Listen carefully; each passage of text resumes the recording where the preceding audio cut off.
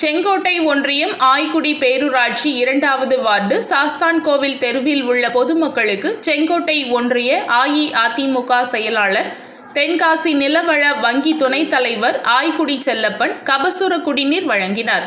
இந்நிகழ்ச்சியின் போது இரண்டாவது வார்டு செயலாளர் செல்லையா கிருஷ்ணன் பழனி மாரி மல்லிகா லிங்கம்மாள் பேச்சி ஆசாரி பொன்னுசாமி பெரியநாயகம் மேலும் பணியாளர்கள் சமுத்திரம் தர்மர் ஆகியோர் கலந்து கொண்டனர்.